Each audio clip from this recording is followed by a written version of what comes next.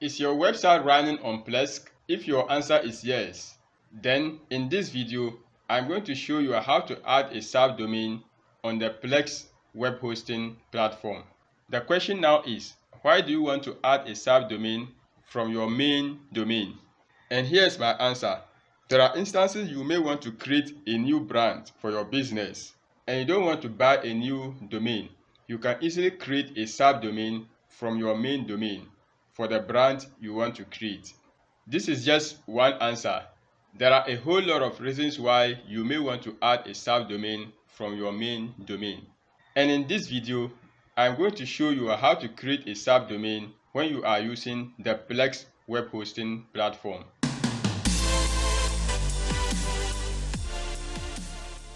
Hello guys, this is Swadik here at Dikupages Web where I do web tutorials just like this one. So if you are new here, consider subscribing. That said, let's get started.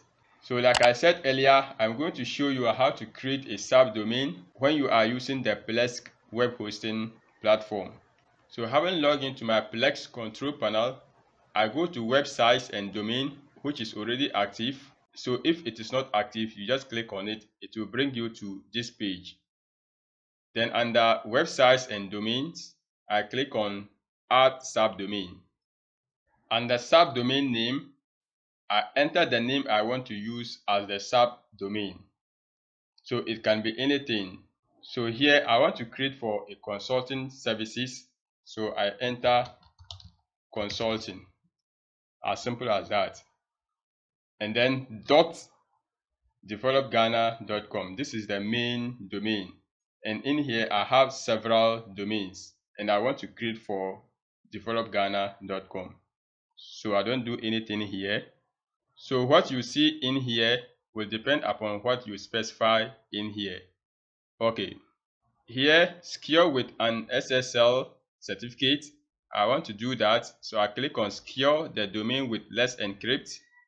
And I'll change this email to info at developghana.com. I go down, click on OK. Okay, the subdomain was created. So let's scroll down to see the newly added subdomain. I have a bunch of domains in here. Okay, it is right there and it is active. I can install WordPress on it can install Joomla or any other content management system. Let's take a look of how our web page will look like with our new subdomain. So I copy, I open a new tab, right click, paste and go. So this is how it will look like. So any new website I install here will not come to replace what you are seeing here. So this is how you can create a subdomain when you are using the Plesk cPanel. I hope you found value. If you did, kindly hit the like button, subscribe and also enable the notification bell so that each time I post a new video on this channel, you'll be the first to know. Keep watching and we will talk soon.